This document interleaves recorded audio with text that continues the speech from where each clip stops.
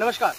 जैसा कि हम लोग आपके समक्ष, समाज की ताज़ा तरीन खबरों से लेकर, हर छोटी से बड़ी घटनाओं को लेकर आते हैं। आज एक ऐसी घटना को आपको लेकर सामने आ रहे हैं, जो अपने आप में काफ़ी प्रेरणादायक है। जीवन के सत्तर से अधिक वसंत देख चुके एक बुज़ुर्ग दंपति आज हमारे साथ है। जी हाँ इक्यावन सालों से एक दूसरे का साथ निभा रहे हैं।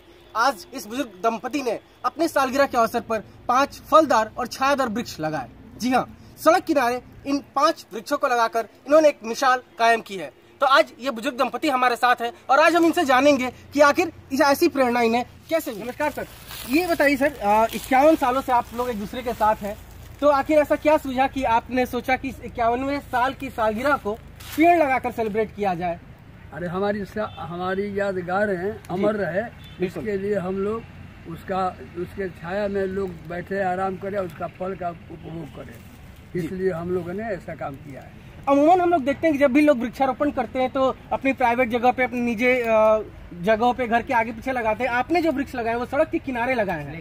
सड़क के किनारे लगाए हैं इसलिए कि राहगीरों को भी जी। आराम मिले और फल वगैरह मिले। क्या बात है।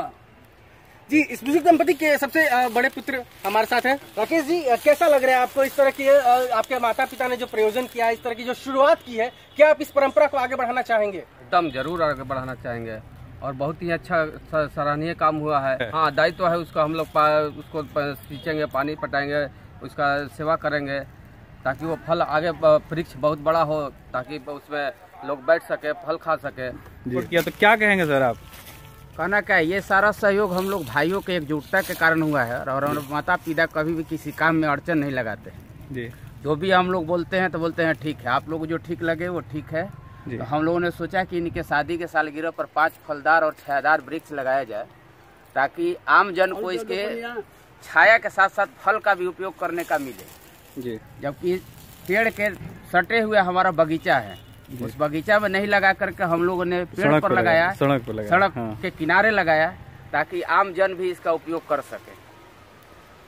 तो इस तरह अपने जीवन की व्यस्तता की दुहाई देने वाला युवा वर्ग भी आज इनसे प्रेरणा ले सकता है कि हमारे बीच एक ऐसा परिवार भी है जो इस तरह के मिसाल का काम करता है। तो हम अपने सभी दर्शकों से उम्मीद करते हैं और उनसे आह्वान करते हैं कि आने वाले समय में वो भी अपने सालगिरह अपने जन्म दिवस को इस तरह से सेलिब्रेट करें और पर्यावरण के प्रति इस मुहिम को जारी रखने में हमारे पेज हमारे चैनल का साथ दें धन्यवाद।